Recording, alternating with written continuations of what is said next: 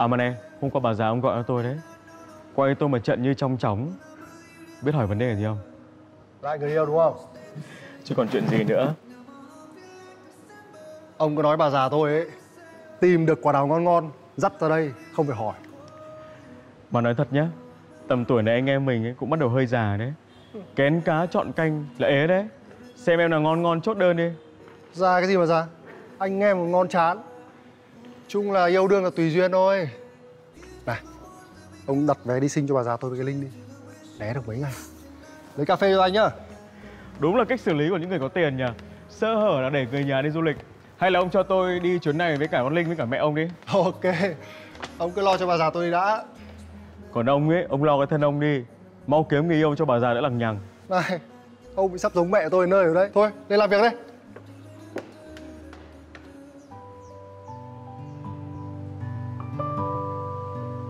tốt bụng như thế, mua giúp tôi chai nước đi.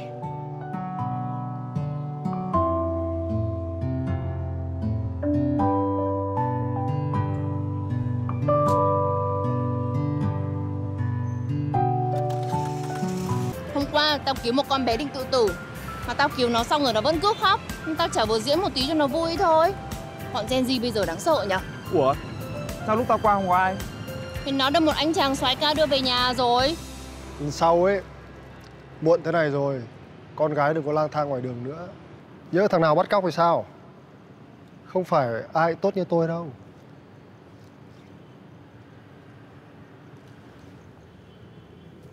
Ở đây có mình anh là khả nghi nhất thôi. Thôi rồi Đằng nào mất công làm người tốt rồi. Đọc địa chỉ đi Tôi đưa em về. Thôi không cần, tí nữa bạn tôi tới đón. Anh tốt bụng như thế, mua giúp tôi chai nước đi. Tôi đau họng quá. Ok Đứng đây chờ tôi. Ê Hôm qua tao gặp một quả Ngon dai hơn cả mày. Ngon đây hơn tao á? Mày mơ à? Ừ thì từ cổ trở xuống cũng không bằng mày. Nhưng từ cổ trở lên là cái mặt đấy Tao nhìn mặt mày ngán lắm rồi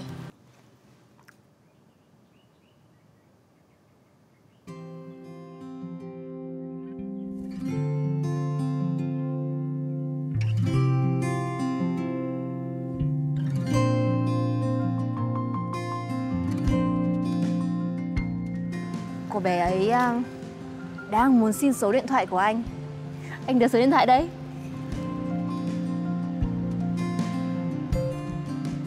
Là cô bé đấy hay là em Ừ, trông anh già khoắm như thế này, tôi cũng không thích.